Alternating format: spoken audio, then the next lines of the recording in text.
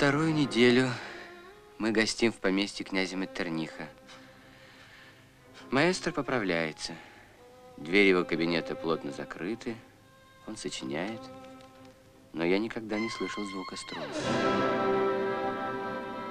Счастлив ли он? И может ли быть счастлив гений?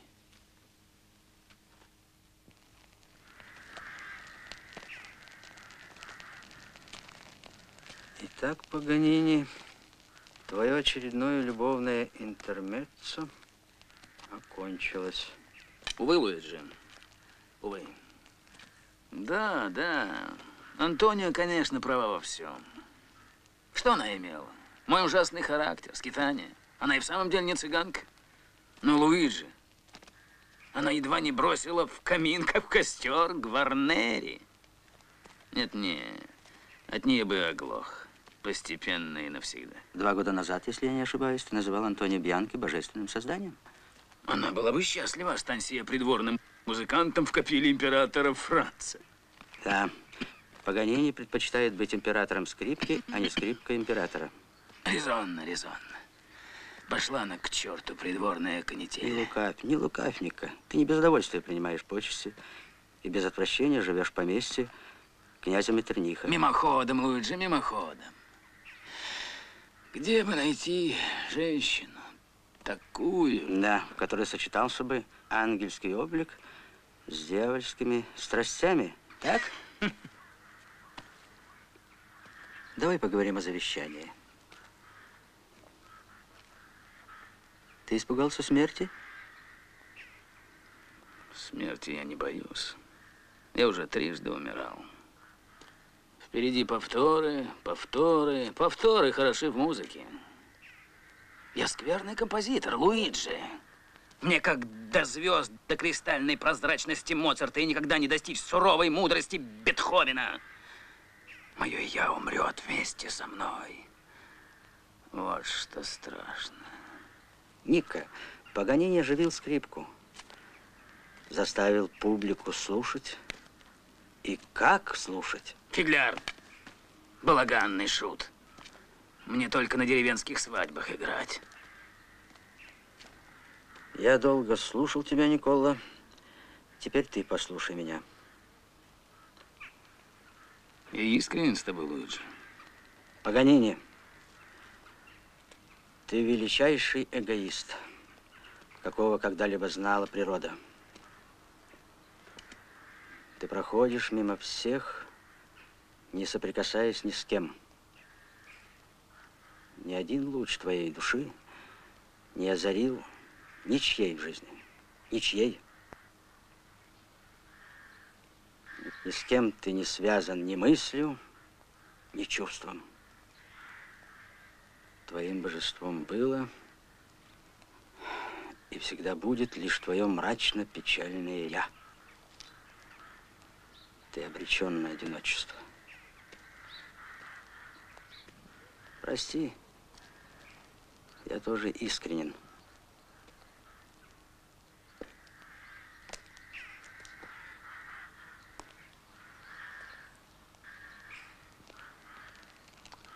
Это ужасно, Луиджи.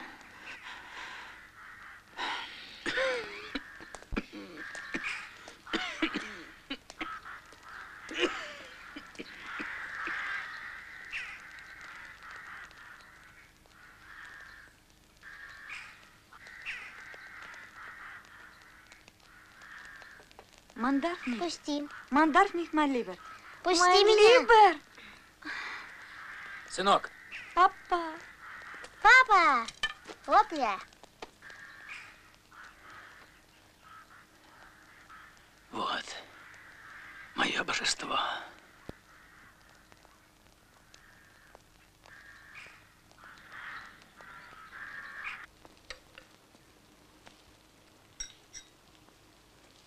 Итак, насколько я понимаю, все свое состояние ты завещаешь Ахиллу. Но пока не ясно, с кем останется наследник.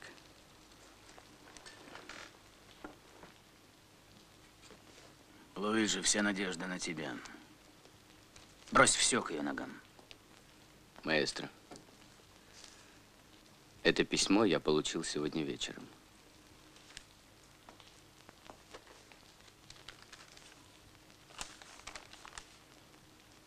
Свидетельствую, что хотя господин Паганини не состоял со мной в церковном браке, он всегда вел жизнь человека честного, был достойным христианином. Я спокойна за судьбу моего сына, если он останется с отцом. Антонио Бьянки. Сеньора поступила так. Из большой любви к маэстро. Я недостоин ее. Юлиус, завтра положите на счет сеньора 50 тысяч флоринов. Я осмелился ей предложить от вашего имени деньги. Она отказалась. В магистрате почти все оформлено. Остались только небольшие формальности. А он и вправду бесценный человек. Юлиус, отныне ты со мной.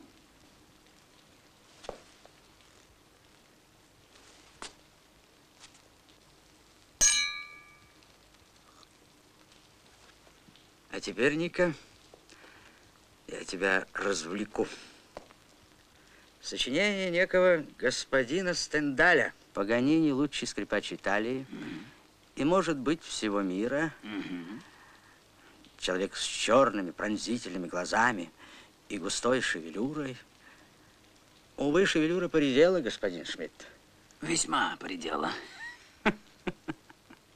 Эта исполненная огня душа обрела свой талант отнюдь не годами консерваторских занятий.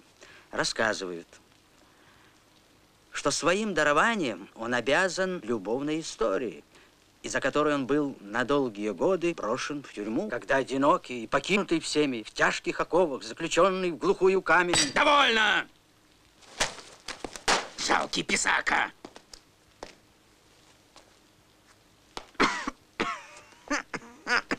Негодяй!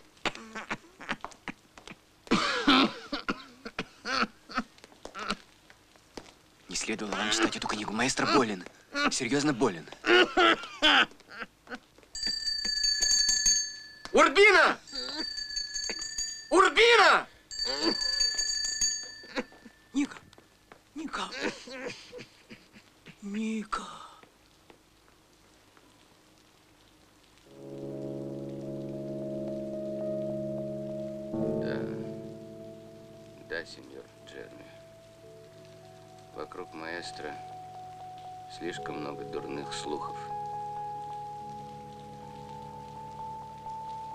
1802, 1804.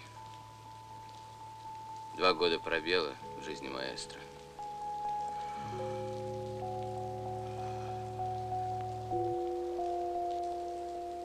Пустота. Это вызывает нехорошие толки. Я спрашивал его, он не отвечает. Где он был? Что он делал эти два года? Разводил тюльпаны. Трудно поверить, чтобы маэстро два года занимался разведением цветов. Однако это так, милейший Юлиус.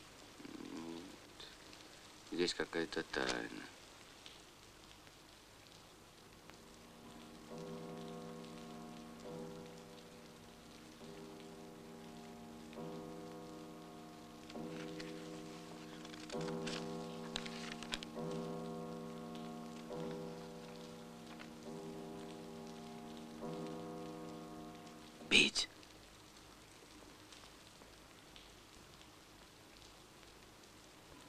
Лучше, маэстро? Пить.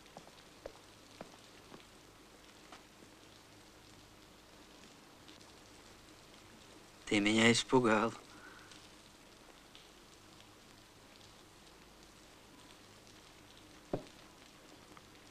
Посиди со мной, Луиджи.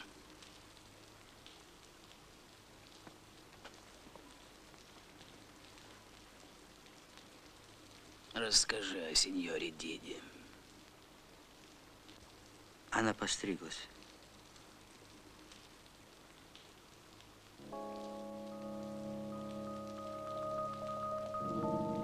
Деда-монахиня.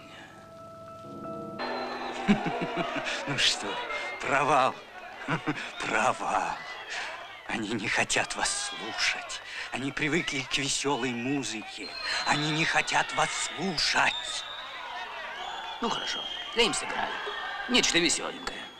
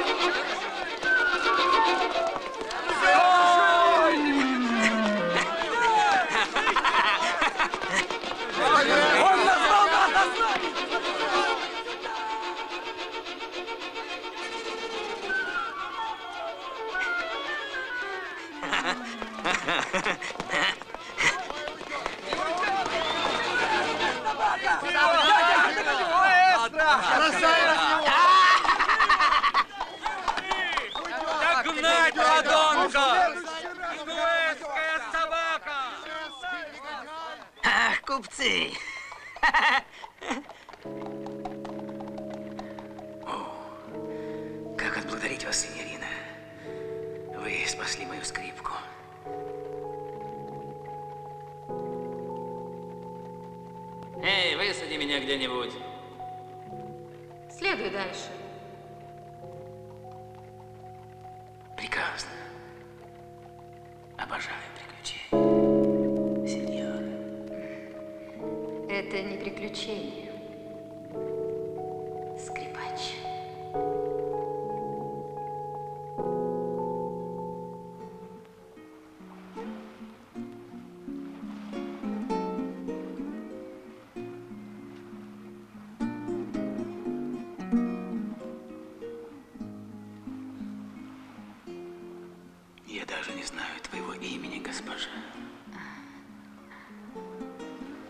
Разве это имеет какое-нибудь значение, мой скрипач?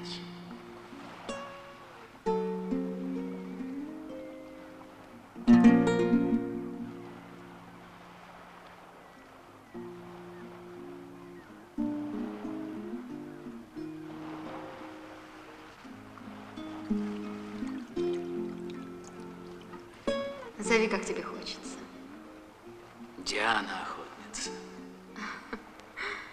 Это слишком торжественно.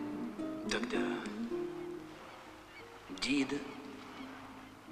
Дида? Пусть будет Дида.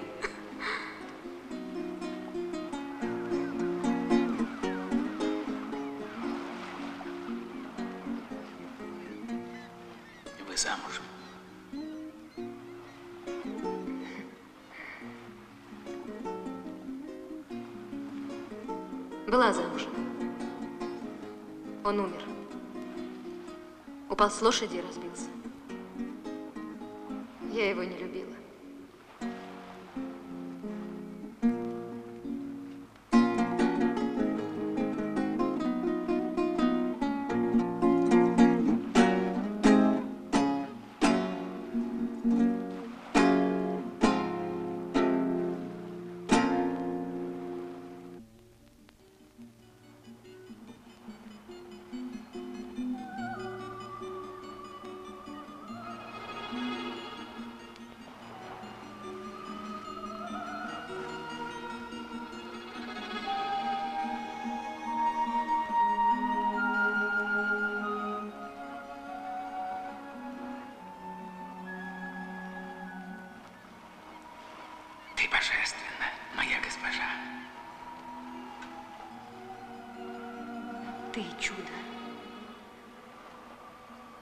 Ты не земной?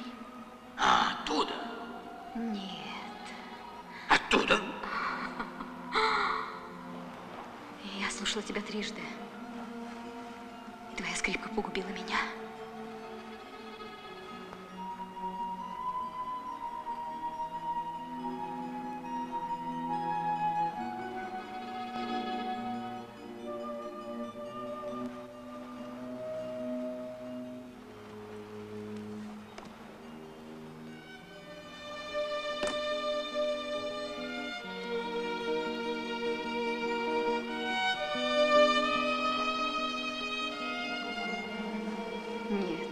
Ты меня будешь любить больше, чем ее.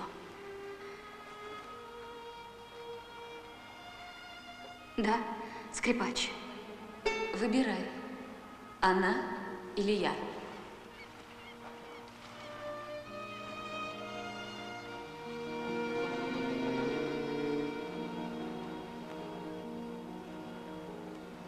Вы похожи.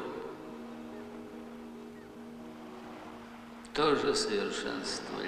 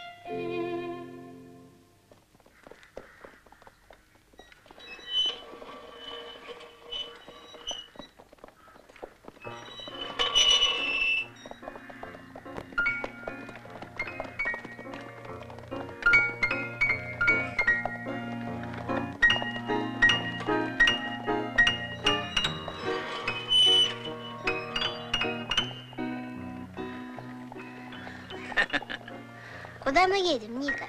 В Прагу, мой ангел. Кто живет в Праге? В Праге живут чехи. Потом куда поедем? А потом поедем в Лейпциг, в Дрезден, а потом в Берлин. А кто живет в Берлине? В Берлине живут немцы. Как ты, Юлиус. Малибо.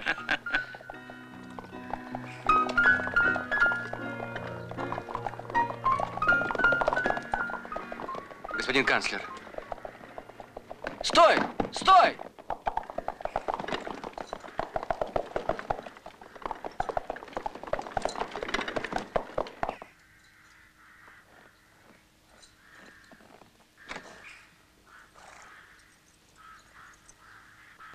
Маэстро.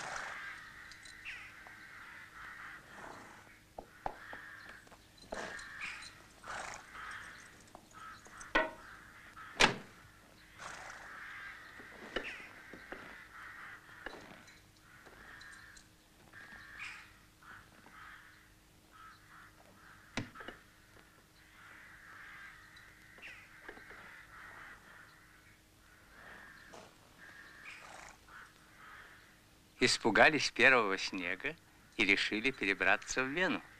Уезжаю, ваша светлость. Позвольте спросить, куда? Манит дорога. Цыганский характер, ваша светлость. Пустое. Мы поможем вам укрепить характер. Лучшая человеческая черта – постоянство. Еще раз постоянство. Не осмелюсь спорить, ваша светлость. Благодарю за гостеприимство.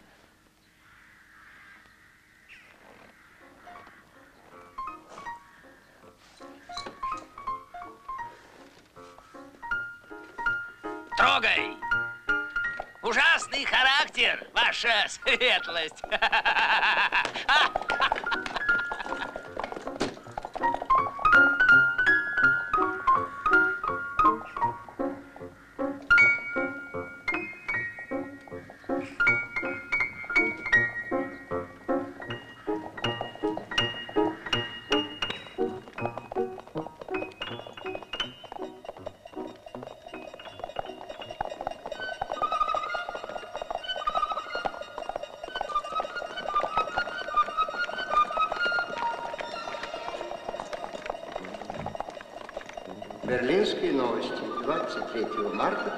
1829 года. На концерте Паганини публика пришла в такой экстаз, который мы редко видели. Мы никогда не думали, что музыка может выражать подобные звуки. В Паганини есть что-то демоническое. Так должен был играть гетовский Мефистофель. Лейпциг его встретил холодно. Портер не собирался аплодировать, но был вынужден рукоплескать. Двор, весь зал разразились овацией. Паганини выглядел старым, изможденным и добродушным. Старым и добродушным? Со всех сторон слышатся голоса восхищения, восторга публики, которые приводят в отчаяние музыкантов, занимавших в мире место, отнятое у них Паганини. Этим людям остается только механический способ устранения великого скрипача из жизни, но это не вернет им славы, потому что человечество узнало беспредельность достижений итальянского гения.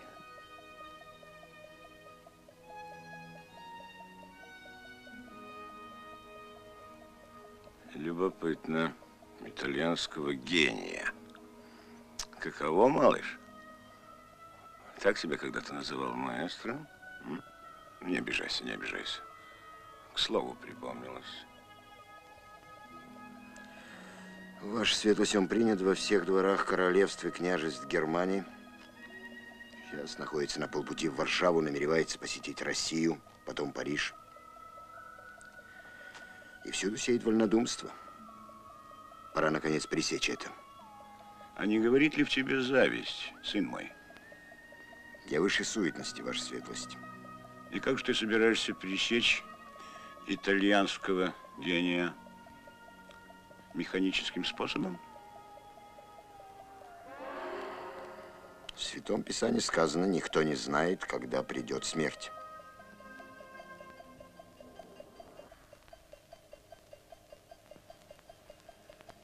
Ты же был его другом. Никола Паганини враг церкви.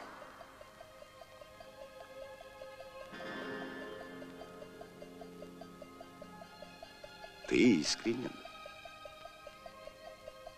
Скрипач становится богатейшим человеком Европы. Буфон артист, миллионер. Каково, малыш? Золото Паганини должно принадлежать ордену. А он сам? Его душа? Пока оставим его. Душу или что там у него еще. Когда-то торговали индульгенциями. За грехи расплачивались. М? Паганини должен платить за отпущение грехов. Но он откупится и будет хохотать. Отныне ни один его концерт не должен быть сорван. И чтобы ни один золотой не пропал. звуки его скрипки умрут. Мы пребываем вовеки. Амен.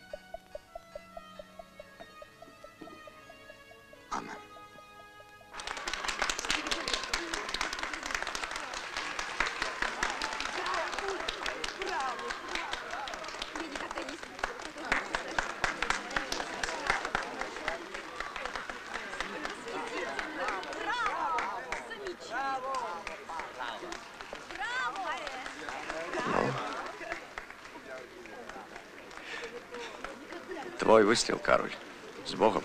Иди, дружище. Я подожду, пока соотечественники успокоятся.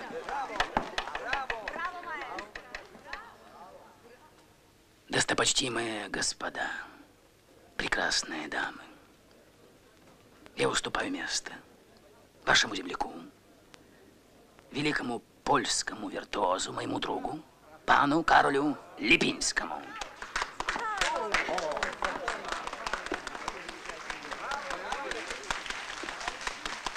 Я надеюсь, что вы ему отдадите свое предпочтение.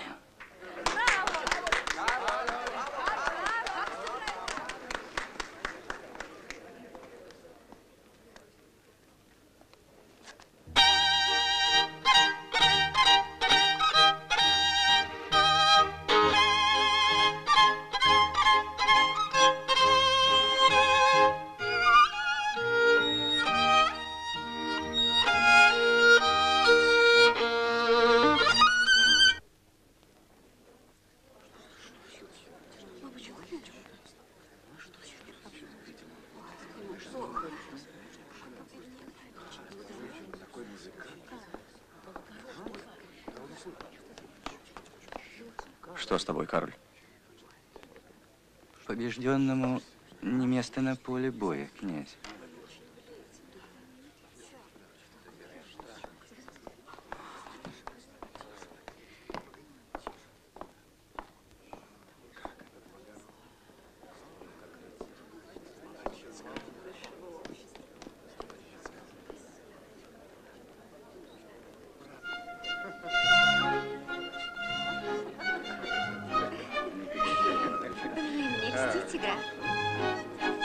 Скажите, маэстро Паганини, я очень хотела бы узнать у вас. Вам нравятся польки, пан Паганини? Вы, вы открыватель таинственных миров? Вас слушать просто страшно. Особенно женщине. Ваш любимый цветок, маэстро Паганини. Тюльпан, сеньора. Вы считаете себя первым скрипачом мира? Я не знаю, кто первый скрипач мира, сеньора, но первый после него пан Липинский. Прекрасные пани, прекрасные пани, прошу, отдайте мне нашего гостя. Честь имею. Маэстро, не уходите. Маэстро, позвольте вам представить. Имя этого молодого человека еще неизвестно, но он серьезный музыкант.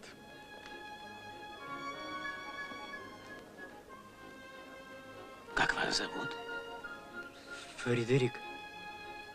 Фредерик Шопен.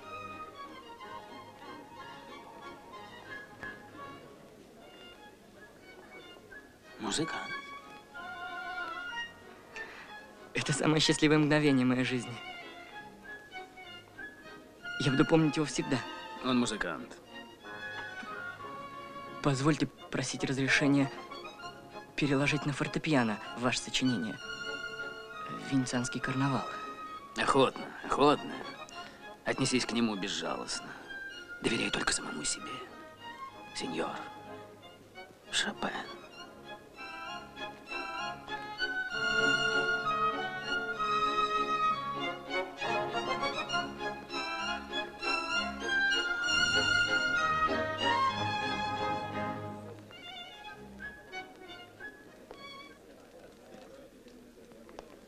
Вы позволите? Что прикажет пан? Коньяк принесите. Слушай. О, опять Паганини. Везде и всюду Паганини. Все с ума посходили. Один коньяк, пан? Прошу.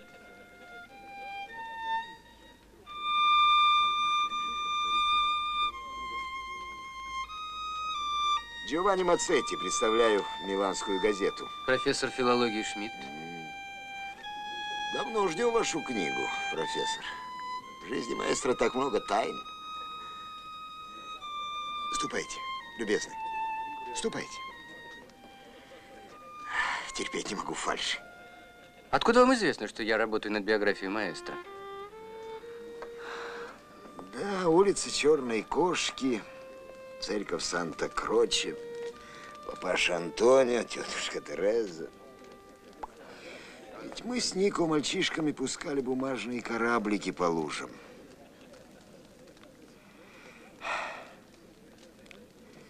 Откровенно говоря, профессор, я давно искал случая познакомиться с вами.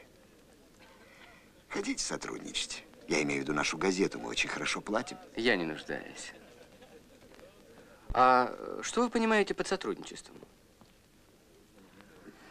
Ну, Паганини – сенсация дня. Не дня.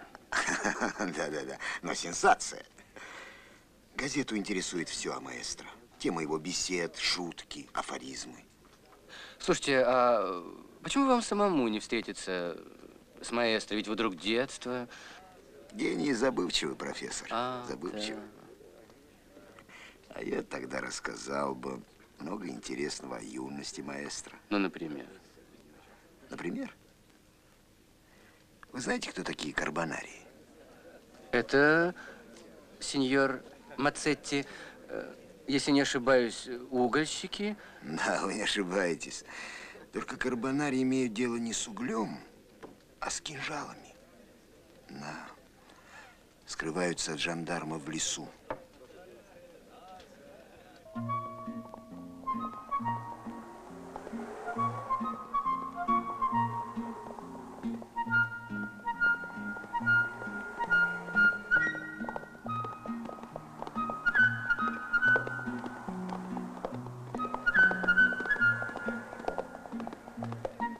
Виделся с этим человеком два раза. Не сказал ему ни одного лишнего слова. Верю, Юлиус, верю. На самом деле, я ведь отлично знаю, кто такие карбонарии. Разве маэстро? Как-нибудь потом, Юлиус. Как выглядел этот друг детства? Итальянец, примерно вашего возраста, носит цилиндр. Малыш. Кого вы имеете в виду? Герелли имею в виду. Журналист. Он иезуит, Юлиус. Что они хотят от вас? Всю жизнь гонятся за мной. Покровители.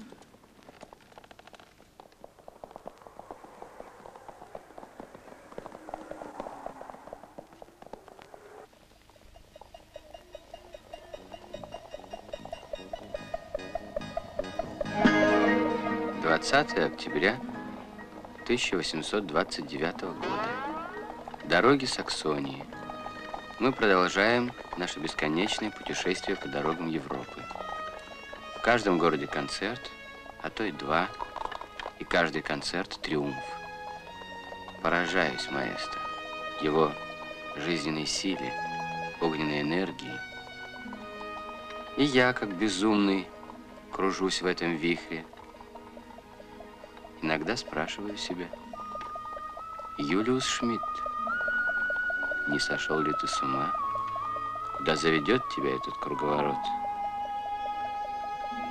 И все же лучше наблюдать жизнь гения, чем копаться в пыльных архивах.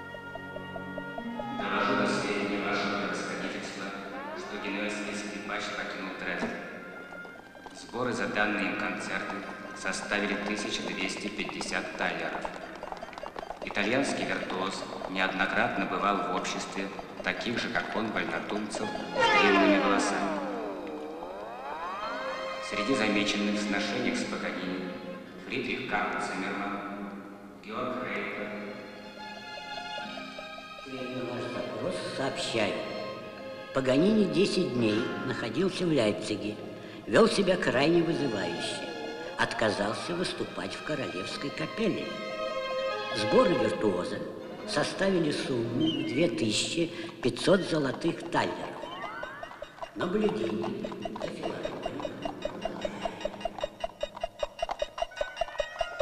Пошел третий год нашего кочевья по дорогам Европы.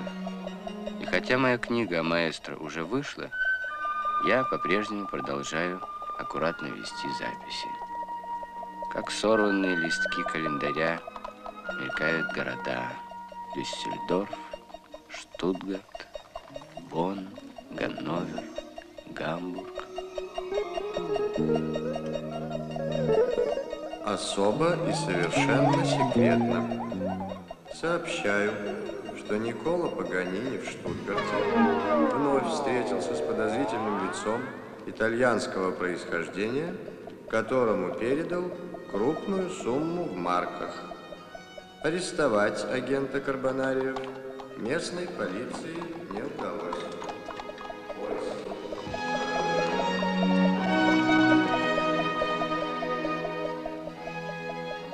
Доношу вашему превосходительству, что в Ваймере Паганини провел два концерта. Сборы 1830 таллеров. 29 сентября сего года Виртуоз встретился с известным поэтом Иоганном фон Гёте. Содержание их беседы пока неизвестно. Полученные сведения.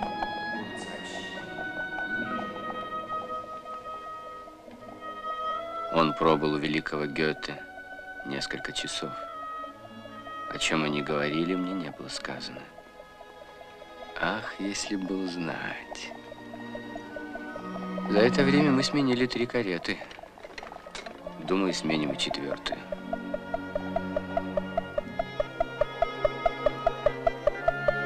Мы живем призрачной жизнью, как во сне. То в дворцовых покоях знати, то в роскошных апартаментах гостиниц, то в захудалых постоялых дворах. Впереди Страсбург, оттуда наш путь лежит в Париж, к заветной мечте маэстро.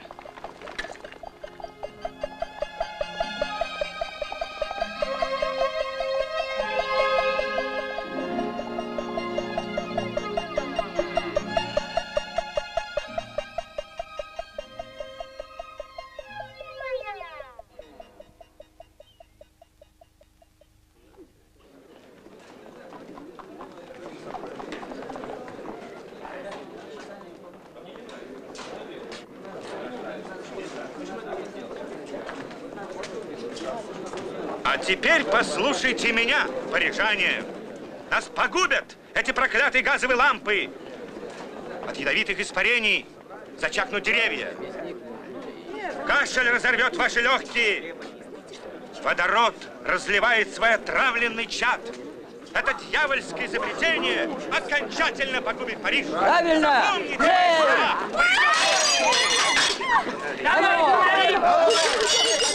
Запомните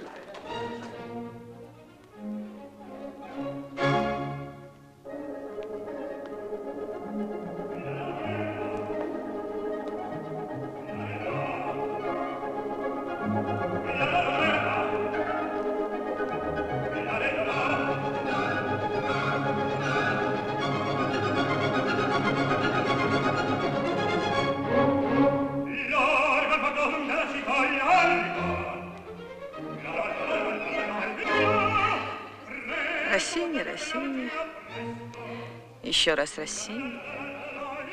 В Париже тоска.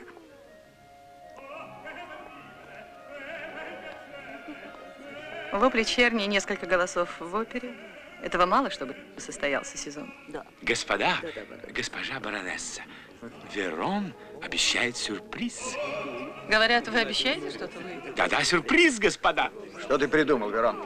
Верон посадит несколько настоящих скелетов на сцене Гранд-Опера. Нет, нет. Верон заставит мертвецов танцевать стальоне. Вот, передай. И это. Слушай. Так что ты придумал, Верон? Я покажу Парижу живого Мефистофеля, господа. А сколько же старик запросил за гастроли? А где ты его раскопал? Сколько стоит нынче сатана? Сатана, как всегда, в цене, дорогая баронесса. Господин Паганини прибыл в Париж. Дорогая, сегодня мы едем в Полидоржан.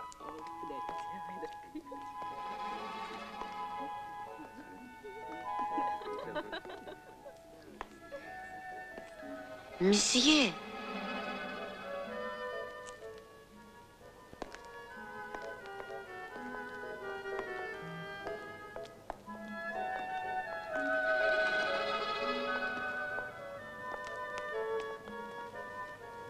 Что ищет месье?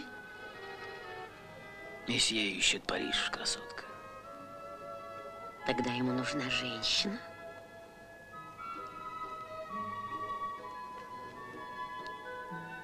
Пять франков, я открою все тайны Парижа.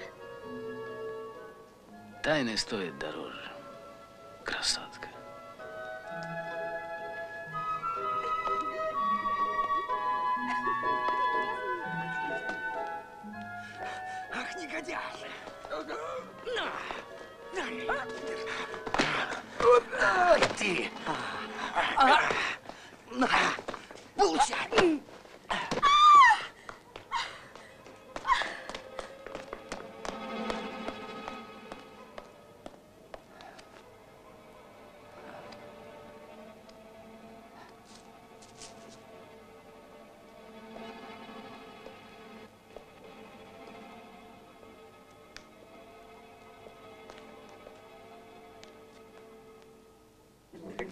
Карету графини де Сент-Этьен.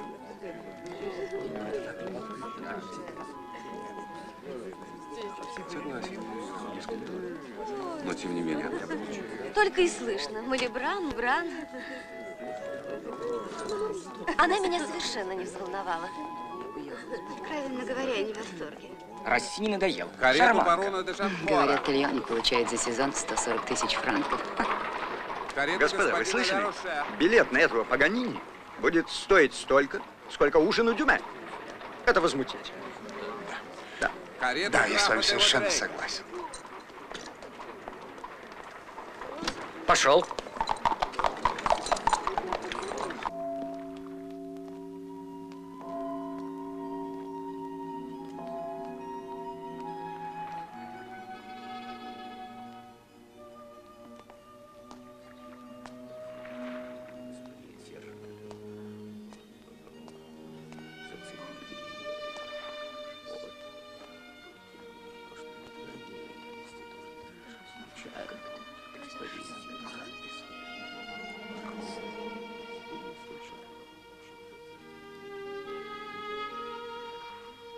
Бедняга. Потаскушка. Они уже 10 лет становятся шлюхами. А в 15 покойницами.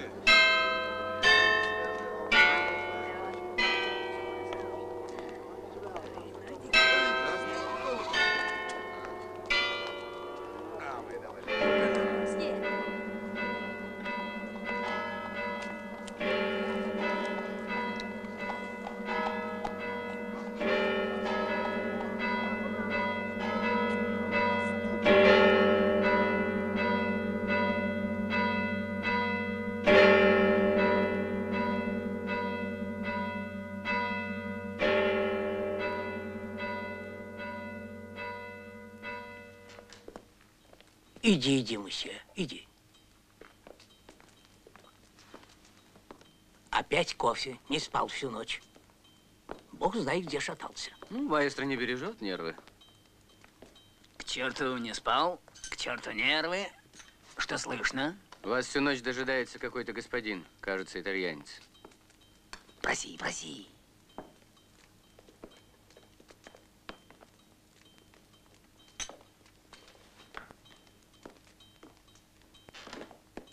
Сынок, сынок, вставай.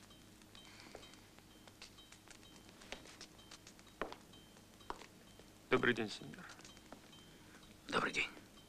Добрый. Кофе. Благодарю вас.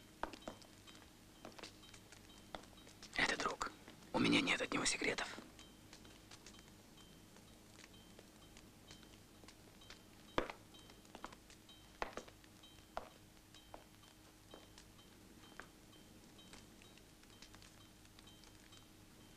Завтра в это же время получишь деньги. Это вам передал сеньор Джерми.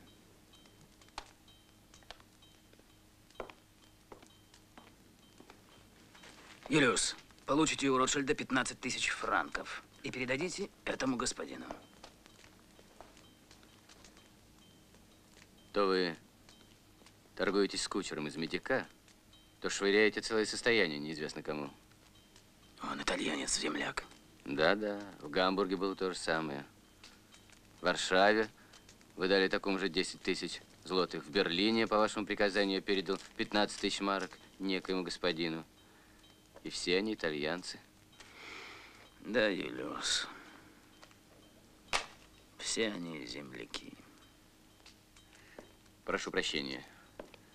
Маэстро, я могу знать, куда идут ваши деньги? На ветер. На ветер Италии.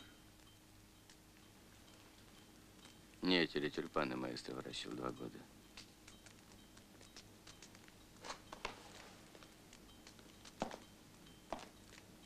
Ну, хорошо.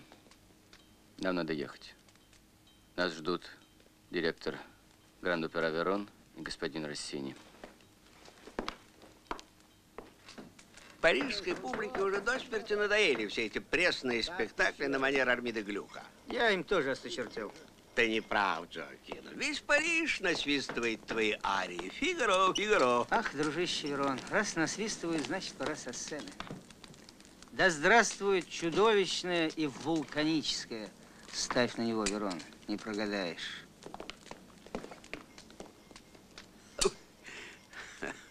Итак, ваши условия, маэстро. Пускай левую Пока остановимся на двух концертах.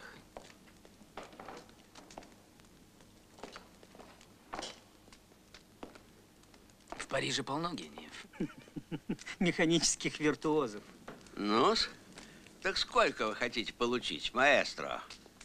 Две трети. Что, что? Сколько? Две трети.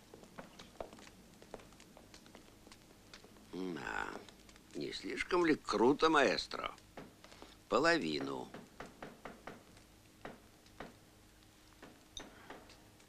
Две трети. Вот у моего приятеля неплохая хватка. Половина. М? Две трети. Берите меня или не берите. Баста. Третий номер ставки. Давай. Подвинь, подвинь кабанцы. Давай, давай.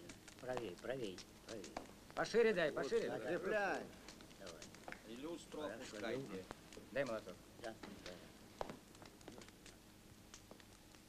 Согласен. Юлиус, оставьте соглашение. Две трети. Прошу.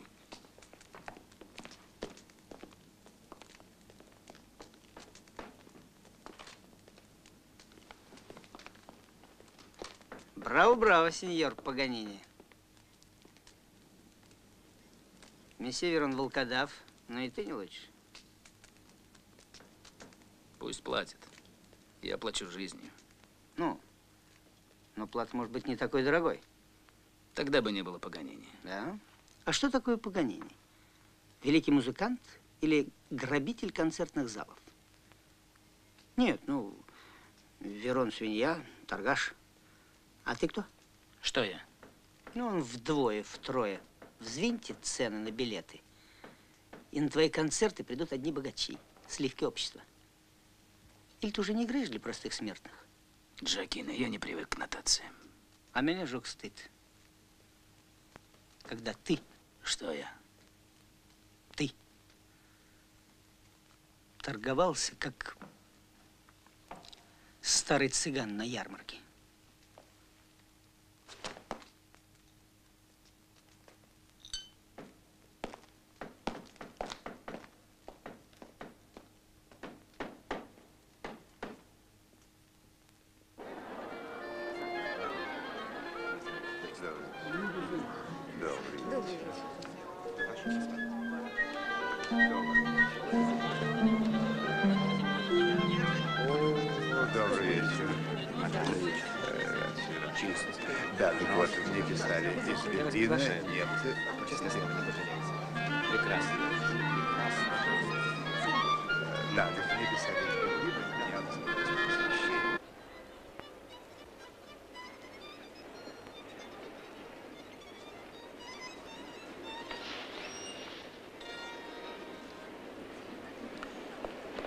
Господа, в зале весь цвет Парижа. Князь Демидов, барон Ротшильд, Делекруа, Бальзак, Жорж Санд, де Мюссе. Столпотворение. Маэстро. О! Магнетизм. Он не болен.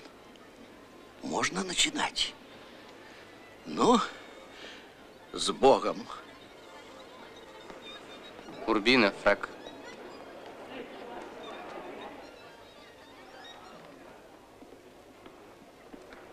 Маэстро, пора.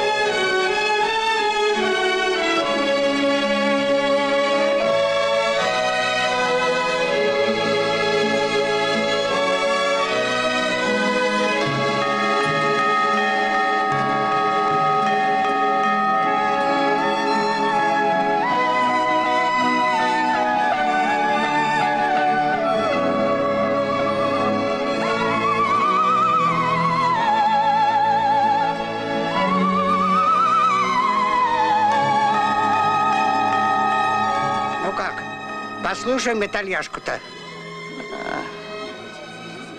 Знаешь, я когда-то сам играл. Ну? Между прочим, неплохо пиликал. Как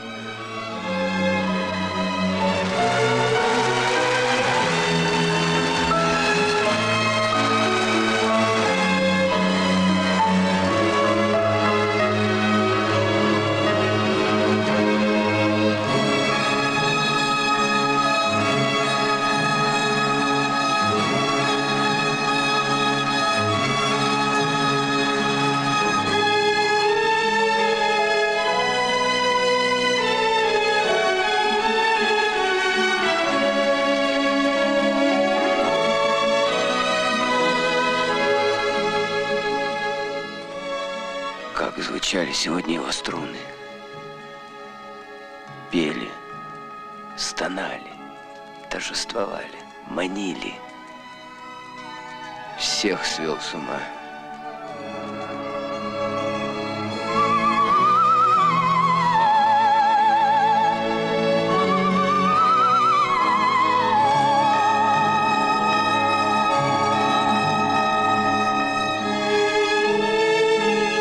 Как передать словами игру Паганини? Не знаю. Не могу. Перо бессильно. Неужели вместе с ним исчезнет его колдовское искусство? И те, кто будут жить после нас, никогда не узнают, как играл Паганини.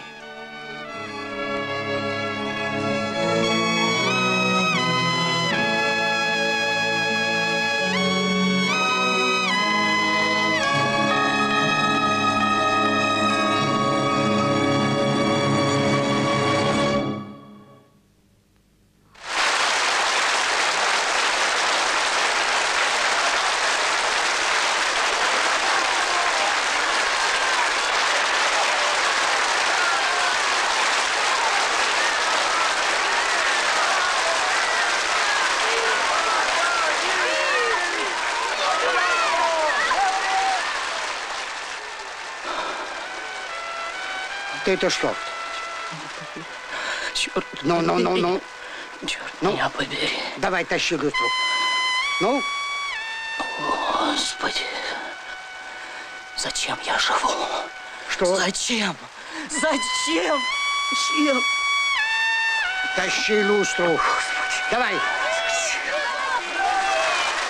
Он самый великий музыкант из всех, кого я слышал. Он стоит любых денег. Das ist wunderbar. Колоссаль. Юлиус, Юлиус, почему они так кричат? Это восторг, мальчик. Это слава. Великая слава.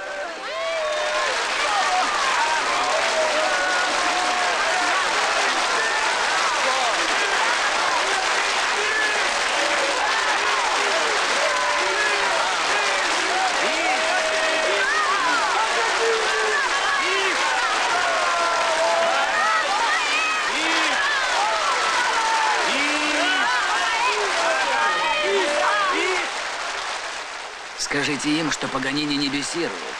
Да, маэстро.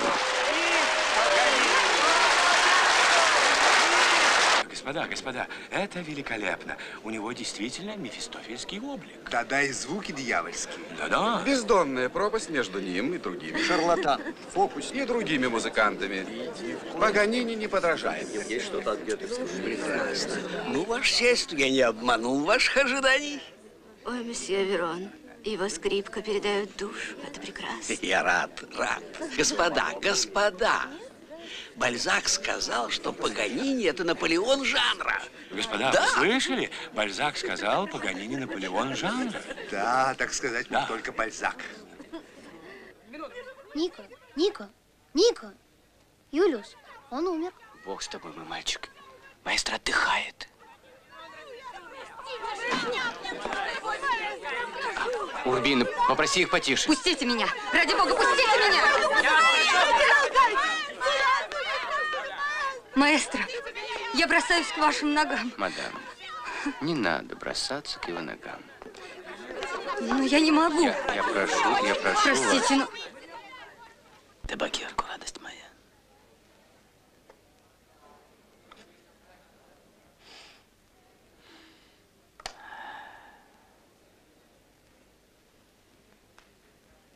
Успех, Юлиус.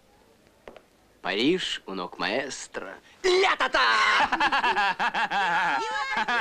Ну что, Урбина, вы положили французов на обе лопатки.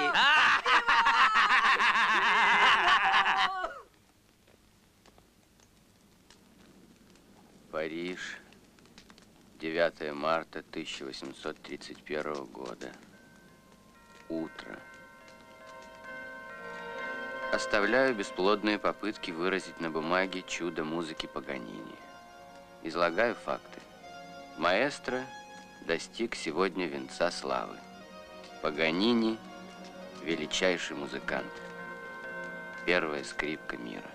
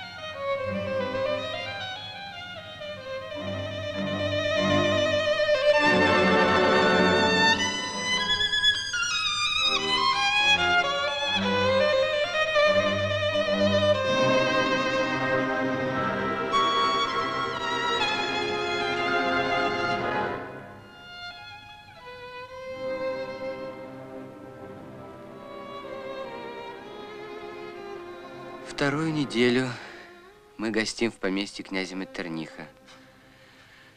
Маэстро поправляется. Двери его кабинета плотно закрыты. Он сочиняет. Но я никогда не слышал звука струн. Счастлив ли он? И может ли быть счастлив гений?